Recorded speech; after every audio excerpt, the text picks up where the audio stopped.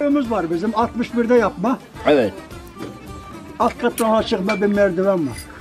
Biz ufak çocuğuz Hüseyin. 6-7 yaşlarında. Sabahla bir tıkırtı oluyor. Bunlar, babam öyle bir gımıldayıp duruyordu. Bunlar şimdi evde kaç çeşit mahsul varsa onları birbirine katırıyorlar.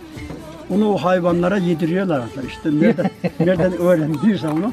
La duruyorduk damda bir 70-80 kilo bir erkek tosun var. Eri o merdiven, ağaç merdivenden o harı tosunu üst kata çıkartmış. Nasıl gücü yetmiştir onu Pay çıkarmak? getir Tosun neydi? kıtır kıtır o hazırlanan verilen şeyi yiyor. Ne, ne biriktirdiyse ondan mahsulün hepsinden biriktirmiş. Tamam. Tosun onu yediyse orada oraya bir işedi. Rahmetli anam bağırdı. Şimdi bunu at buradan dedi. Bunu ellemem. Bunu at buradan. Bunu buraya çıkar. Tosun girilmez oradan merdivenden çıktığı yerden. Adam iki saat uğraştı orada biz gülle gülle çocukluk işte.